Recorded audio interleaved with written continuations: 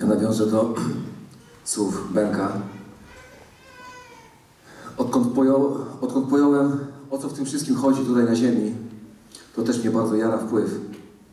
Bo jakby rozumiem jego, jego wagę, jego znaczenie mnie jako nowonarodzonego, jako nowe zupełnie, zupełnie stworzenie, stworzenie. I tak jak Wam powiedziałem gdzieś mniej więcej na początku roku, że dopóki mnie Duch Święty nie zatrzyma, będę mówił o wpływie. Tak więc dzisiaj również będę mówił o wpływie.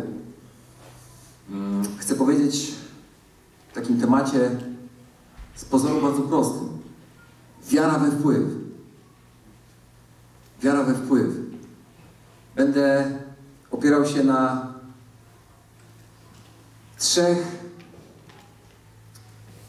z pozoru prostych słowach, które we wszystkich, również religijnych kościołach są często przytaczane, wiele się o tym mówi. Natomiast chciałbym wejść w nie troszeczkę, troszeczkę głębiej. To tyle tytułem wstępu. Przejdę do konkretów. Dzieje apostolskie 1.8. Jest takie słowo w Biblii Warszawskiej. Ale weźmiecie moc Ducha Świętego, kiedy stąpi na was. I będziecie mi świadkami w Jerozolimie, w całej Judei i w Samarii i aż po krańce ziemi.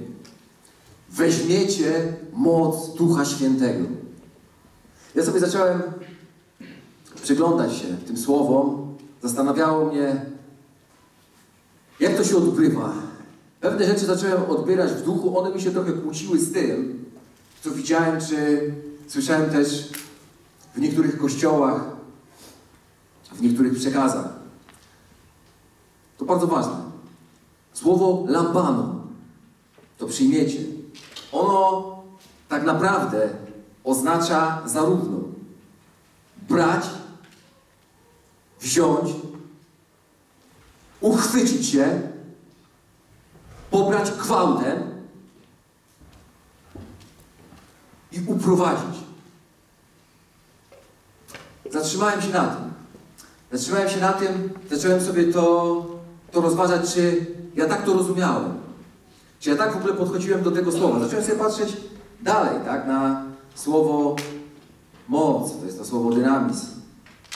I tu mnie już zaczęło bardziej rozciągać, że to słowo, ono oznacza moc, oznacza też potęgę, oznacza też siłę, oznacza też zdolność i oznacza też możność. Zacząłem sobie łączyć te rzeczy, patrzyłem sobie to słowo i tłumaczyć to, co Jezus po zmartwychwstaniu, a przed wstąpieniem do nieba powiedział do, do uczniów. Ale weźmiecie i uchwycicie się pobraną gwałtem i uprowadzoną przez was potęgę, siłę, moc, zdolność oraz możność Ducha Świętego. Chrzest w Duchu Świętym. Chrzest w Duchu Świętym. W jaki sposób my bierzemy tę siłę, potęgę, moc, zdolność oraz możliwość? Tylko przez wiarę. Tylko przez wiarę sięgamy, sięgamy po, po te rzeczy. Jeśli nie uwierzysz, nie uwierzysz w te, w te słowa, w to, co powiedziałem, nic się nie wydarzy bokiem. Nic nie będzie takiego, że będziemy sobie siedzieli przed telewizorem i tak w ogóle, a Bóg coś zrobi i na pewno jakoś wpadnie, coś się zadzieje i w ogóle ja teraz będę latał na krańce ziemi, tak jak w tym słowie gdzieś tam wyczytałem. Przede wszystkim musisz w to uwierzyć. Uwierzyć, uwierzyć w to słowo. Mało tego. Jakby rozważając bardziej to, ma się, ma się porwać przez wiarę. Porwać. Uprowadź to słowo. Uprowadź to słowo.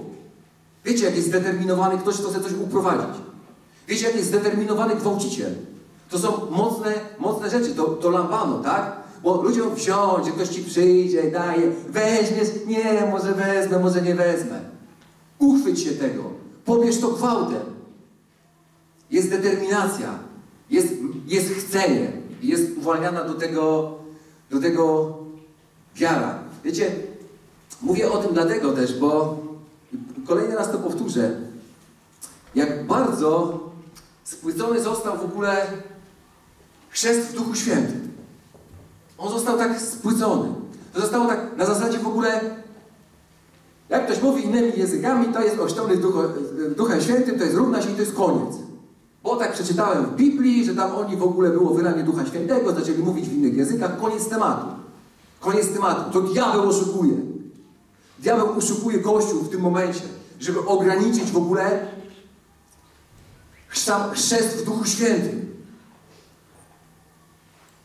Mówienie, języ mówienie innymi językami jest darem Ducha Świętego, jak najbardziej, tak? I były też tego, były też jednym ze skutków tego, że ci, że ci pierwsi uczniowie, tak? Oni uwierzyli tym słowom Jezusa. I oni z determinacją oczekiwali wypełnienia się, e, wypełnienia się tej obietnicy, tak? Ale to nie jest równa się, to nie jest koniec tematu, mówienie innymi językami. To nawet to też Koryntian mamy opisane, jakie są dary Ducha Świętego, tak? Są dary objawienia, tak? Słowo mądrości. Tak? Czyli ponadnaturalny, można tak powiedzieć, no, ponadnaturalny wgląd w przyszłość. Jest słowo wiedzy, czy słowo poznania. Czyli taki ponadnaturalny wgląd w to, co jest teraz, albo w to, co było. Tak? w naturalny sposób człowiek nie jest w stanie takiej informacji pozyskać. Dar rozróżnienia duchów, dary objawienia, tak? dar wiary, dar czynienia cudów, dary uzdrawiania, no i dary mocy. Tak? dar języków, dar wykładania języków i dar proroctwa. Ale wiecie, my możemy chodzić we wszystkich darach, bo Bóg udziela ducha bez miary. Udziela ducha bez miary. Ja często jak rozmawiam z ludźmi, czy jak słyszę w ogóle przekaz, to jest to takie, jest takie spłycone. Jak ktoś świergota na językach, tak, ochrzczony Duchem Świętym, koniec tematu. Uważam, że obnażam teraz diabła z jedną z jego strategii, którą próbuje wejść do kościoła i żeby zatrzymać. Bo ja coś innego czytam jednak, czytam jednak w tym słowie, tak? Chrzest Duchem Świętym to przyobleczenie potęgą, siłą, mocą, ale również zdolnością i możnością samego Boga. To jest bardzo duży temat. Weźcie przez chwilę tak, wyobraźcie sobie coś, co do tej pory rozważaliście jako coś najpotężniejszego. Coś, z czym się mierzyliście, myśleliście sobie, coś potężniejszego, coś najpotężniejszego. A teraz weź sobie uświadom, że jeszcze większa potęga jest w Tobie. Pomyśl sobie o jakiejś sile. Nie wiem, może z fizyki, może gdzieś. Analizowałeś jakiś kosmos, jakieś zjawiska, które zachodzą. Coś się wydarzyło.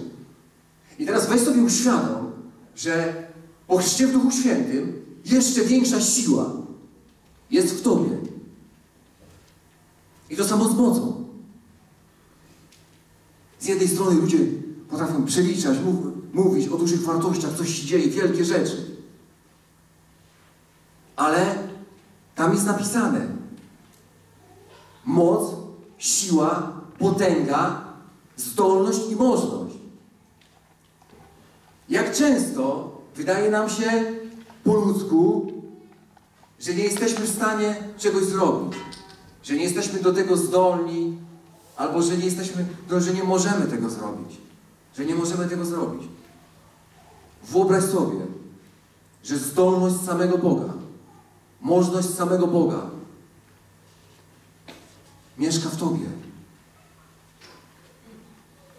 Dla mnie to jest, wiecie, w ogóle mega rozciągające. Ja nie przechodzę nad wersetami w Biblii w taki sposób, że i nie robiłem tego nigdy, że czytałem je na akord.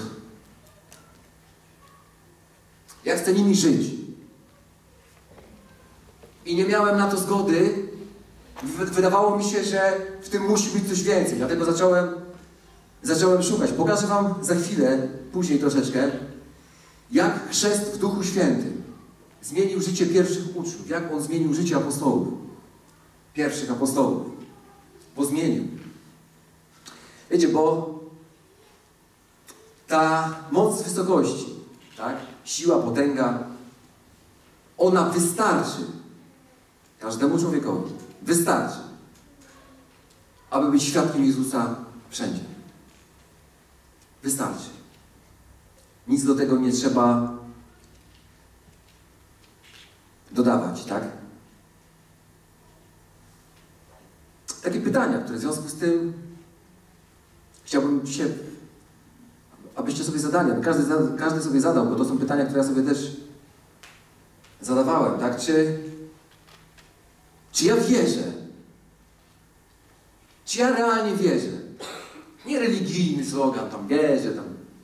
Czy ja rea- realnie wierzę w to, że przyjąłem potęgę, siłę, moc, zdolność oraz możność samego Boga. Czy ja w to wierzę? Jak zacząłem sobie pierwszy raz zadawać to pytanie, to zrozumiałem, że chwyciłem się może tylko jakiejś części. Że był to dla mnie tak duży temat, że aż nie byłem w stanie go intelektualnie może ogarnąć, więc w ogóle nie, nie, nie dotykałem tego tak, nie podchodziłem nigdy z tej strony, ale zacząłem sobie budować swoją wiarę. Zacząłem sobie to rozważać. Stąd to moje pytanie. Wyobraź sobie największą siłę, tak? Napotykamy czasami jakieś trudności. Co to ma w ogóle do potęgi, siły, mocy i, i zdolności samego Boga? Ale to jest pierwsza rzecz, tak? Czy, czy wierzysz, że przyjąłeś? Ale druga, myślę, że bardzo ważna też. Czy uchwyciłeś się? Czy uchwyciłeś się tej siły, potęgi, mocy, zdolności, możności w swoim codziennym życiu? Czy ja uwierzyłem w ogóle? Czy ja uwierzyłem, że naprawdę Duch Święty zamieszkał we mnie? Ten Duch Święty, który skrzesił Jezusa z martwych. Bóg, Bóg, cały Bóg. Bóg, który jest duchem, ze swoimi wszelkimi atrybutami. Całą potęgą, siłą, mocą, zdolnością i możliwością, że On jest we mnie, że nie muszę czekać, że muszę gdzieś, że On jest. I się tego uchwyciłem? Czy się uchwyciłem? Coś Wam powiem. W moim życiu, jak i w Waszym życiu. Tak samo. Są różne wyzwania. Czasami ludzie mówią, o, ty może tak, bo ty tam silna osobowość i tak dalej. Osobowość to jest, wiecie, stawiam to z boku. Niejednokrotnie spotykam taką sytuację, że ona po ludzku w naturalny sposób mnie kompletnie przerasta. Nie mam z tym ani doświadczenia, ani umiejętności, bo jestem świadomy, ja generalnie wiem, gdzie ja się zaczynam, gdzie ja się kończę w takim naturalnym ludzkim wymiarze. I, wie, I wiecie co, jak od momentu, jak ja sobie zacząłem w ogóle badać te słowa, tak? A całe moje życie skoncentrowane jest na tym, że ja chcę w ogóle świadczyć o Jezusie wszędzie. I teraz ja wiem, że ja w ogóle to nie jest tylko głoszenie Ewangelii na ulicy, ale nawet w pracy. Ja prezentuję Chrystusa, czy gdziekolwiek indziej, tak? I teraz, jak pojawia się we mnie jakaś taka demoniczna zajawka, a, nie dasz rady, jakie wyzwanie. Ja staję na tym słowie. Staję na tym słowie.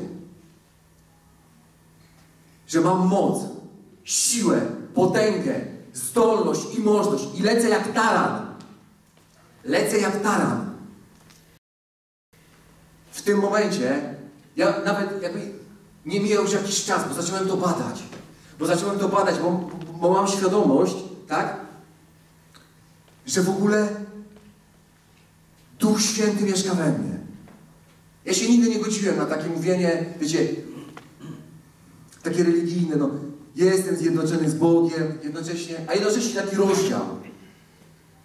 To żyję już ja, czy żyje we mnie Chrystus? No jak to w końcu jest? To jest tak, że generalnie przyjęliśmy Ducha Świętego, tak? Że żyje już nie ja, żyje we mnie Chrystus, ale jak idę do jakiegoś tematu, to gdzie on poszedł? Do kogoś innego, do sąsiada? Że on się podzielił? Wiecie, że musimy sobie też uświadomić, że jeśli w ogóle jesteśmy oszczędni Duchem Świętym i teraz przychodzimy do, staje jakieś wyzwanie przed nami i ono nam się wydaje większe, to my grzeszymy. To jest błąd. To jest błąd. To znaczy, że na tym odcinku diabeł nas oszukał. Że nas oszukał.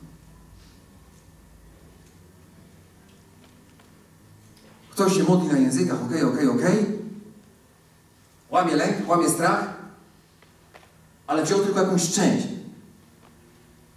Jakąś część objawienia, wiary, tematu w ogóle. Potęgi, siły i mocy. Wiecie, tak naprawdę to się z pozoru może wydawać błahy temat. Ale kiedy my się z nim w ogóle zrośniemy, kiedy my się z nim w ogóle zżyjemy, kiedy my sobie uświadomimy w ogóle, przepraszam bardzo, ale co jest w stanie nas zatrzymać? Nic. Nic nie jest w stanie zatrzymać, żadna przeszkoda. Żadna przeszkoda nie jest w stanie nas, nas zatrzymać, tak? Wiecie, ja tak myślałem sobie też ostatnio, jedziemy w lutym do tej Kenii, tam się też taka pojawiła demoniczna zajawka, jak ty się tam dogadasz. Wiecie co? Będę mówił w Suahili.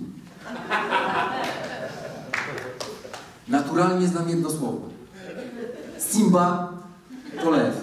Mówiłem dzisiaj, wiecie, rano. Nic więcej nie potrafię. Naprawdę, słuchajcie, bo możemy się śmiać, ale... I teraz przychodzi taka myśl, tak? Już można... Można już kombinować. A ja sobie siadam i mówię, Ojcze, ja wierzę, ja wierzę Ci, że ja mam potęgę, siłę, moc, zdolność i możliwość. Wiem, po co tam jadę. Nie jadę tam na wycieczkę. Będę mówił Suahili w każdym innym języku. Poselstwa, kazania, cokolwiek trzeba będzie.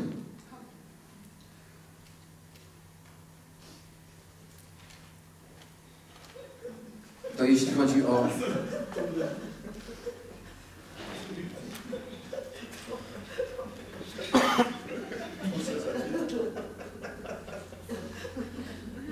jeśli chodzi o dzieje apostolskie. Przejdę do drugiego fragmentu. Jak powiedziałem, chciałem trzy rozważyć dzisiaj.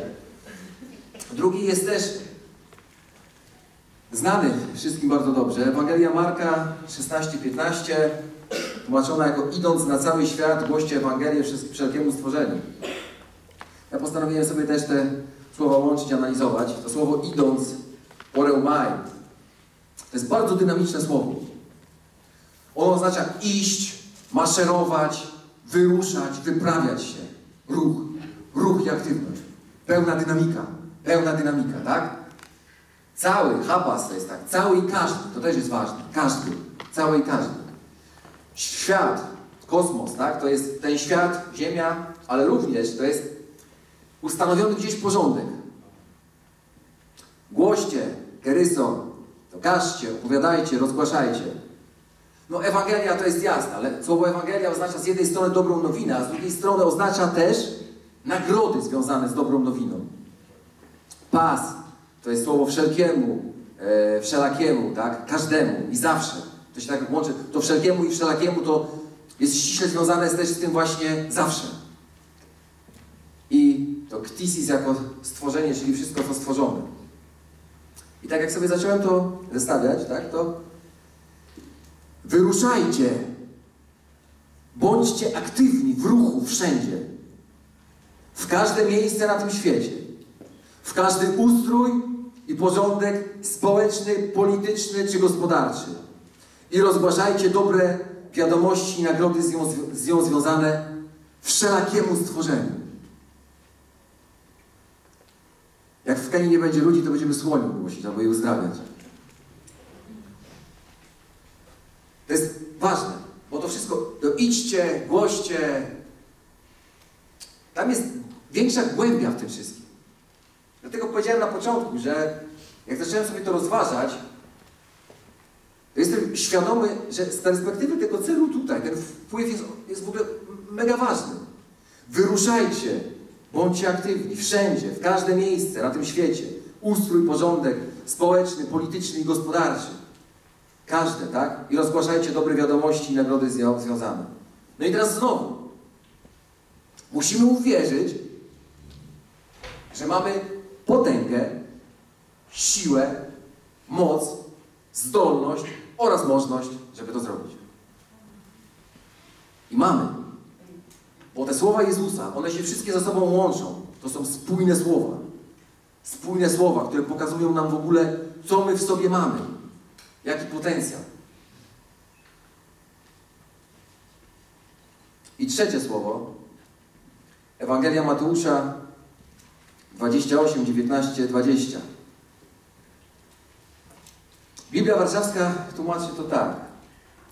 Idźcie tedy i czyńcie uczniami wszystkie narody, chrzcząc je w imię Ojca i Syna i Ducha Świętego, ucząc je przestrzegać wszystkiego, co wam, co wam przekazałem. Uważam, że to nie jest niefortunne tłumaczenie tak naprawdę. Znaczy nie jest najlepsze. Bo zobaczcie, co się z tego wszystkiego robi, tak? W kościołach czy instytucjach takich jak, nie wiem, Kościół katolicki, zaraz się jest żegnanie, Ojciec, Syn, Duch Święty. A w kościołach protestanckich, jak wrzucisz na YouTube'a chrzest, to ci będą patrzyli, czy chrzciłeś w imię Ojca, Syna i Ducha Świętego. A weź ochrzci w imieniu Jezusa. Zaraz ci ktoś zadzwoni coś powie. Rozumiecie? Bóg jest jeden. W ogóle robienie hierarchii, rysunków, w ogóle drzewek na zasadzie takich, jaka jest jakby waga, to jest wszystko jakby odciąganie w niewłaściwą stronę. To są jakieś bzdury. Dużo lepszym tłumaczeniem jest tłumaczenie mesjańskiego Żyda, Sterna. To jest w ogóle ważne. Dlatego idźcie i z ludzi spośród wszystkich narodów czyńcie talmidim, czyli uczniami, i tu jest mega ważne, zanurzając ich w rzeczywistość Ojca i Syna i Ducha Świętego, nauczając ich posłuszeństwa wszystkiemu, co wam nakazałem. Zanurzając ich w rzeczywistość. Wiecie, to w ogóle jest mega ważne. Dzisiaj, dzisiaj imię nic nie znaczy. Dzisiaj imię to jest chwilowa decyzja rodziców w ogóle, jak mi się podoba. Tak mi się podoba, tak mi się nie podoba, tak sobie wezmę. Ale w ogóle inaczej było z imieniem kiedyś i z nadawaniem w ogóle, z nadawaniem i, i, i, imion. Za imieniem stoi cała rzeczywistość. Cała rzeczywistość. Jeśli modlisz się w imieniu Jezusa, to modlisz się w rzeczywistości Jezusa, prawd, zasad, wszystkiego, co głosił, co mówił. To nie jest religijne, o cokolwiek byście się modlili do Ojca w imieniu moim i znowu jest hierarchia zrobiona, tak? Musisz wyklepać, że jesteś w imieniu Jezusa, tak? A modlisz się do Ojca. Jak się pomylisz, nic nie działa. Modlisz się z wiarą. W rzeczywistości Chrystusa się poruszając. Wierząc, żyjąc jak On mówił. Prezentując Go. Inaczej nie działa. Bo znowu zaraz zeszlibyśmy, weszlibyśmy, jak ręce trzymać, jak mówić, czy jak patrzę na Ojca, to patrzę wyżej, a Syna po środku, a Ducha Świętego niżej, bo na ziemię, tak? Wiecie, to jest jakby całe rytuały, to jest mega ważne. W ogóle to zagłębianie się tą rzeczywistość, niż takie klepanie. No, ci z Was, którzy byli na, w środę na, na modlitwie, też akurat sporo się modliliśmy w tym kierunku, takiego zanurzania w rzeczywistość. To w ogóle jest ważne, żeby to rozważać. Fajnie jest na przykład, ja, ja wiem, że jedno z imion Boga to jest Elohim, tak? Stworzyciel, Bóg Stwórca. Ale teraz, jak ja sobie to wszystko łączę i rozważam, że Elohim, który jest duchem, Bóg Stwórca, On też mieszka we mnie. To ja się teraz jestem świadomy, że jestem myśli Chrystusowej. Jestem świadomy, że jestem zjednoczony z Bogiem. To ja teraz zanurzam się w rzeczywistość Elohim, który jest we mnie i ja tworzę. Powołuję do bytu. Powołuję do bytu. Nie szukam go na zewnątrz. On jest we mnie. Ja wierzę w to, że jest we mnie. Wierzę też, że mam dostęp. I teraz zanurzam się w tą rzeczywistość. Co mówił Elohim na ten temat, który jest tutaj. I w ten sposób, jak uwalniam słowa, czy projektuję je, powołuję do bytu, podejmuję decyzje, I tak samo na przykład każde inne imię Boga, tak? Jachwe Ire, zaopatrzenie. Ale z, z każdej strony, tak? Jachwe Shalom też. Potrzebujesz pokoju, tak? Zanurz się w rzeczywistości największego pokoju, który jest w Tobie. Jachwe Shalom, rozważaj to, rozważaj to, całą tą rzeczywistość. I zobaczcie teraz, jak to wszystko zostało spłycone, tak? Chrzest Duchem Świętym, Sara Takalara, ochrzczony Duchem Świętym, tak? Generalnie idź, czyń, czyń uczniami, tylko pamiętaj, powiedz w imię Ojca i Syna i Ducha Świętego. To w ogóle nie tak. To w ogóle nie tak. Dobra. Co pokazują nam te trzy przytoczone przeze mnie fragmenty ze słowa, tak? Podsumowując. Po pierwsze, no, że mamy wziąć przez wiarę potęgę, siłę, moc, zdolność oraz możność samego Boga. Po drugie, że mamy wyruszać wszędzie i rozgłaszać Ewangelię wszelkiemu stworzenie, stworzeniu. Po trzecie, że mamy wyruszać i przyprowadzać do uczniostwa ludzi z całego świata, którzy będą żyć zgodnie z rzeczywistością Boga. Zgodnie z tą rzeczywistością. Z tymi prawdami objawionymi w Chrystusie. Z całą rzeczywistością.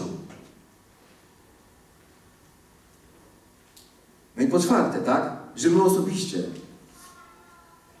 mamy być świadkami Jezusa. Zawsze i wszędzie. Zawsze i wszędzie świadkiem Jezusa będę. Zawsze i wszędzie świadkiem Jezusa będę.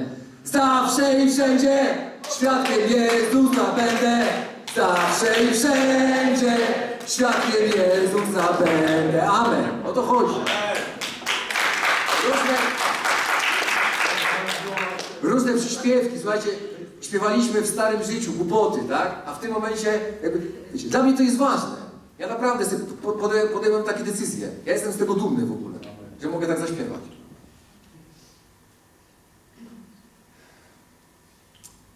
I to, co powiedziałem wcześniej, pokażę Wam teraz, jak chrzest w Duchu Świętym, czyli przeobleczenie, mo- przeobleczenie mocą, siłą, potęgą, zdolnością i mocnością z nieba zmienił życie pierwszych uczniów. Ale ja od razu powiem jedną rzecz, bo ja tutaj nie zajmujemy się historią chrześcijaństwa, tak?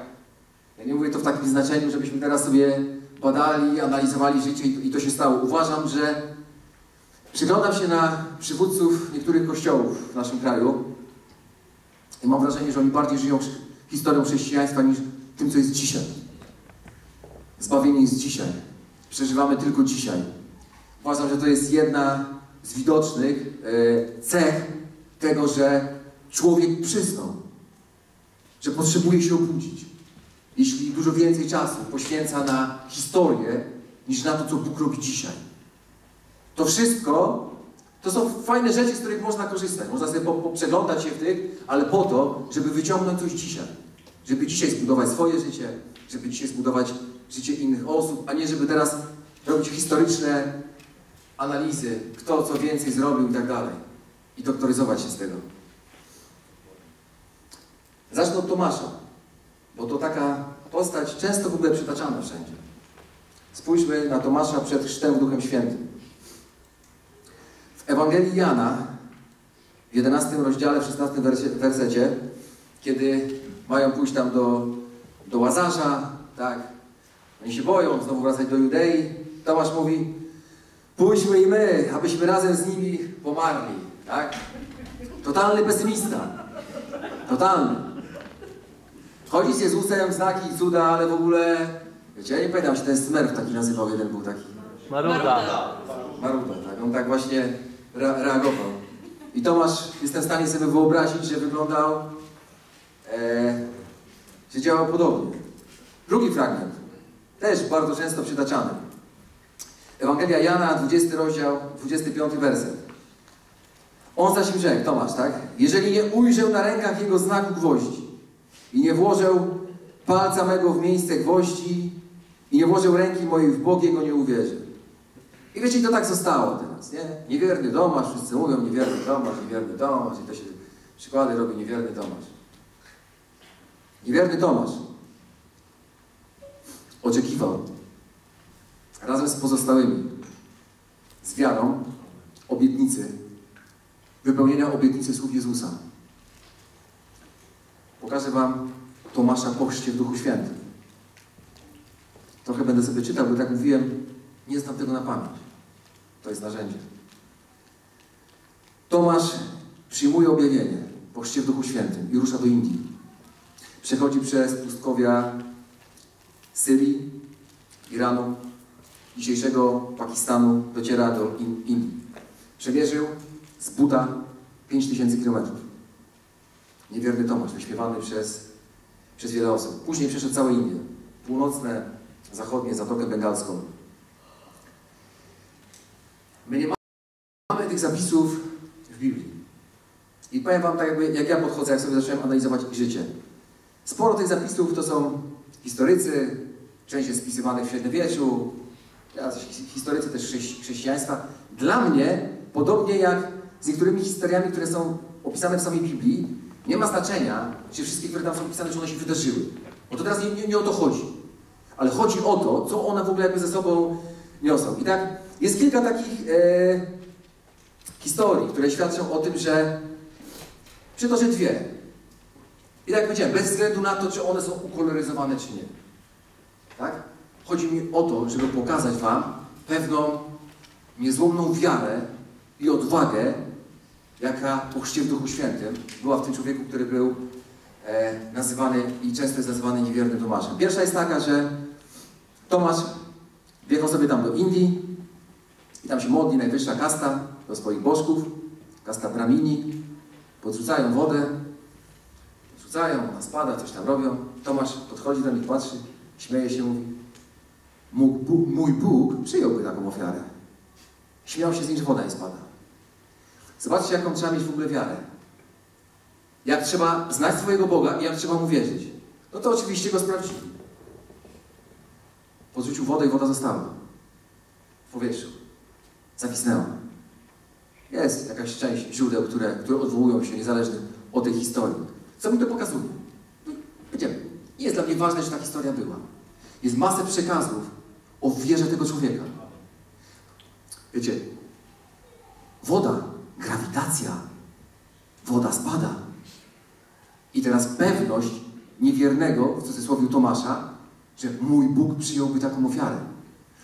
Są bardzo rozciągające rzeczy. Inna historia jest taka, że jak przyjechał Tomasz do Indii, udał się do króla i obiecał, że mu zbuduje pałac, czy zamek, pałac rzymski. Król się uradował, on mu tam coś pokazał, jak to będzie. Zostawił mu kasę i pojechał. A Tomasz rozdał kasę ubogim, przeznaczył na służbę i nic nie postawił. Po dwóch latach wraca król, wtrąca go do więzienia, mówi, zabiję cię, okłamałeś. A Tomasz mówi, że ale ja ci zbudowałem pałac w niebie. Jak uwierzysz w te prawdy, tak? Uwierzysz w te prawdy, tak? I pójdziesz za tym, tak? To masz pałac w niebie, bo i twoja kasa będzie w ogóle służyła na, na, na szerzenie królestwa. Wiecie, tam ileś tam jeszcze dochodzi historii, tak? W końcu tam ktoś z rodziny też zostaje e, uzdrowiony, tak? Król się nawraca. Ale coś wam powiem w ogóle, bez względu na to, czy te historie były, czy nie. Musiał być człowiekiem wpływu, bo tylko człowiek wpływu dotrze przed króla. To nie jest tak, że my sobie idziemy, wiecie, z marszu i my sobie wchodzimy przed kogo chcemy. Więc rozciąga mnie to. Nie ma tego w Biblii, dlatego wszyscy tak mówią, niewierny Tomasz, niewierny Tomasz, ale niewierny Tomasz wziął tą obietnicę Jezusa. Uwierzył, że potęga, siła, moc, zdolność, możność samego Boga jest w nim aby to, aby to wykonać. Tomasz w 52 roku naszej ery założył w Indiach pierwszy kościół, założył tam łącznie 7 kościołów. Oczywiście, dzisiaj, wiecie, to jest tak, że religia próbuje gdzieś tam wejść wszędzie. Oglądałem, studiowałem to dalej, to tam się U nas są pewne kulty świętych, czy Maryi, tam się do Tomasza modlą teraz, nie? Wiadomo, że Tomasz, Tomasz tego nie zakładał, nie? nie? Nie w taki sposób, tak? Ale jakby nie mają wątpliwości, że był taki człowiek, który po prostu przyszedł z Jerozolimy, głosił im Chrystusa w ogóle i założył kościoły, które funkcjonują, funkcjonują do dzisiaj. Druga postać, Bartłomiej, zwany Natanaelem, przed chrztem Ewangelii Jana 46 mamy taki jeden fragment. Czy z Nazaretu może wyjść coś dobrego? Też raczej takim pewniakiem nie był. Po chrzcie Bartłomiej także poszedł na wschód, także poszedł do Indii. Przechodząc przez różne tereny, gdzie panowało bardzo duże bezprawie. Następnie udał się do Armenii i razem z Judą założyli kościół ormiański. Przyjmuje się, że Bartłomiej i Juda są ojcami, e, ojcami tego kościoła. E, obaj nawrócili króla Armenii. Wcześniej go uzdrowili, wiecie. Armenia stała się oficjalnie pierwszym krajem w ogóle chrześcijańskim. Tak? Bo król się nawrócił. Wiecie, w ogóle nie rozciąga, tak? Poszli, poszli, dotarli do króla, w ogóle nawrócili króla.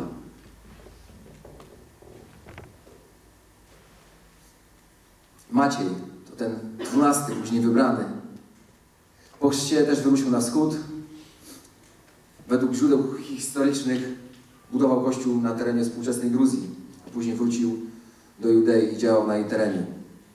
Juda, po uzdrowieniu króla Armenii, tak razem z Bartłomiejem, e, działał również w Turcji i razem z, Szymoną, e, z Szymonem Zelotą udał się do Iraku, do Iranu. Przyjmuje się, że tam, na terenie Iraku i Iranu, nawrócili 60 tysięcy ludzi. Wiecie, to jest, to jest tak dużo, bo my czasami tak patrzymy z takiego teraźniejszego punktu widzenia, przypomniało mi się, to jest historia ciekawa, nie wiem, ale powiem to tak, tak, tak postrzegamy na takiej zasadzie, że e, ojciec opowiada synowi historię, mówi, wiesz synu, kiedyś w sklepach, na półkach to był tylko ocet, a syn mówi, naprawdę tato? W całej galerii mogotów? Trochę tak jakby postrzegamy z perspektywy dzisiaj tego, co było kiedyś. Dzisiaj ludności jest prawie 8 miliardów. Ale jeszcze w 1960 roku było niespełna 2 miliardy. To teraz jest taki pęd. Jeśli chodzi o pierwszy wiek naszej ery, są różne, różne szacunki. Niektórzy przyjmują, bo to są tylko szacunki. Że tam było 250 milionów osób, ale ja bardziej spotkałem się z tym, że tam że było 50 milionów osób. Wiecie, 60 tysięcy z 50 milionów w ogóle, to, to, to też brzmi trochę inaczej. Więc na pewno poszli jak, jak przecinaki, tak? Szymon Zelota, zanim dołączył do Judy w Persji, działał także w Mauretanii i Egipcie. Zobaczcie też, co jest charakterystyczne, bo tam było w tych słowach Jezusa i pójdziecie na krańce ziemi. Ameryka nie była wtedy jeszcze odkryta. Oni wychodząc z Jerozolimy, oni mieli Europę, Afrykę i Azję. I to były dla nich krańce ziemi. I oni wszyscy tam poszli. Oni wszyscy tam poszli. W Egipcie działał też e, Marek, Marek Ewangelista, tak? Założył kościół w Aleksandrii e, w Egipcie. Jakub, mniejszy, młodszy, działał na terenie Syrii. Jan, Jan jedyny, który nie zginął męczeńską śmiercią, on został w Jerozolimie. Na początku budował tam kościół, ale później za czasów prześladowań Heroda Agrypy opuścił Jerozolimę i udał się do Efezu, do współczesnej. No, czyli obecnie jest to Turcja, tak? Drugi Jakub, ten syn Zebedeusza, Jakub Choleryk, tak? Razem ze swoim bratem Janem nazywani synami gromu. On przyniósł z kolei chrześcijaństwo do Hiszpanii. On poszedł w tą stronę. Doszedł do końca. Doszedł do końca, zatrzymał się na terenie Hiszpanii, tak? Piotr, Kefas, no to tutaj to wiemy. No z jednej strony w ogóle on poczcił w Duchu Świętym, bo tak my też często jak oglądamy tą jego e, osobowość, chwiejną osobowość, wcześniej, tak? I, I te błędy, ale jednak po chrzcie w Duchu Świętym stał się też silnym przywódcą. Stał się takim e, liderem, tak? Wyruszył do Rzymu, działał na terenie Grecji, no i Rzymu, tak? Andrzej, jego brat, także się udał na zachód, działał i budował kościół w Salonikach. Działał na terenie w ogóle Grecji i Turcji, później razem z Piotrem działali, działali w Rzymie. Co ciekawe, bo to mnie takie rzeczy rozciągają. Andrzej wisząc e, na krzyżu, był przywiązany, a nie, nie, nie był przybity, żeby dłużej umierał. Wisząc na krzyżu nauczał ludzi. Chrzest Duchem Świętym w ogóle, pójście z wiarą, uchwycenie się tego, co wzięli. Uchwycenie się w ogóle. Wisiał na krzyżu, nauczał. Zresztą podobnie Filip. Filip, znany z tego też, że chodzi z Jezusem, żyje z Jezusem, tak? Chodzą. A w pewnym momencie Jezus już, już im tyle powiedział, a Filip mówi, Panie, pokaż nam Ojca. Wystarczy, żebyśmy coś zobaczyli, tak? Jezus ręce rozkłada w ogóle, że, że jakby nic nie czai. Czyli widać, że no też nie był jakiś lotny w, w, w tym jakby temacie przewyższonym Duchem Świętym, tak? Ale później e, to Filip, tak? Spotyka tego eunucha, co się tak traktuje, że on był odpowiednikiem ministra skarby e, z Etiopii. Działa później w, Etiopii, w ogóle działa też na terenie Kartaginy, czyli dzisiejszej, e, dzisiejszej Tunezji. Też przyjmuje się, że nawrócił, nawrócił ty, tysiące, tak? Nawrócił tysiące, działał jeszcze później z Bartłomiejem w Turcji. Oni wszyscy byli w ruchu. Oni wszyscy byli w ruchu. Mateusz, Mateusz wyruszył do Afryki. Wyruszył przez pustynię i poszedł do Etiopii. Tam między innymi też spotkał tego oszczonego eunucha przez, e, przez Filipa, tak? I Mateusz wskrzesił syna króla Etiopii. I król Etiopii się nawrócił. I to było też dosyć przełomowe e, wydarzenie, tak? Czyli kolejna osoba, wiecie, choruje syn króla. I przychodzą po takiego Mateusza. Musiał być człowiekiem wpływu. Wiemy, jak ważne jest świadectwo życia, nie? Wiemy, jak ważna jest wiarygodność nasza. Ludzie nas obserwują, patrzą, czy jesteśmy wiarygodni. Musieli być. Skoro w takiej sytuacji polecieli po, po, po niego, tak? Mogło się zamanifestować uzdrowienie. Tak? No Pawła, o, o Pawle wiemy najwięcej, tak? No bo działał tutaj tereny yy, no, no Morza Śródziemnego, tak? Bałkany, Grecja, Turcja i Włochy.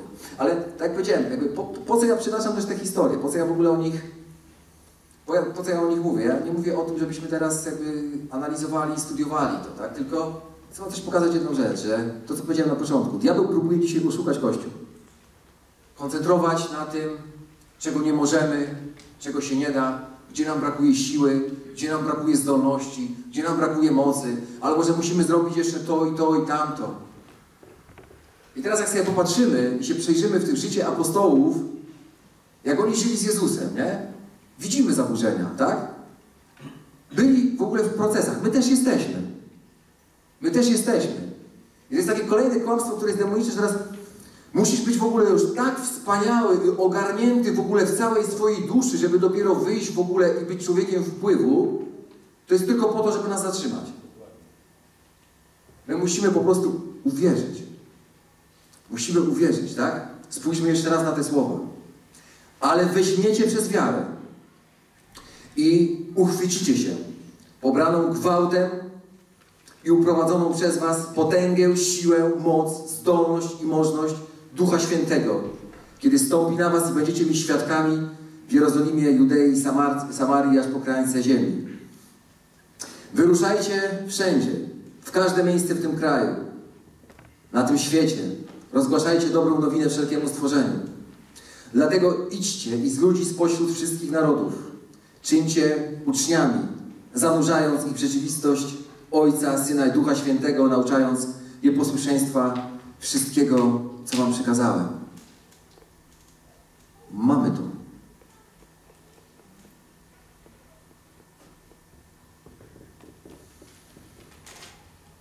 Wiecie co? Nie będę tego komentował. Ja będę tego kom- komentował, bo miałem początkowo jeszcze pomysł, żeby to komentować, ale ja was zostawię z tym słowem. Zostawię z tym, co powiedziałem i wierzę, że jeśli otworzycie się na to słowo, to w każdym z was Duch Święty wy- wykona, wykona, ono wykona pracę. Ona wykona pracę. I teraz chciałbym, żeby każdy z was, każdy z was jakby przyjął objawienie i o, za jaki odcinek tej drogi jesteśmy odpowiedzialni. Za jaki odcinek tej drogi?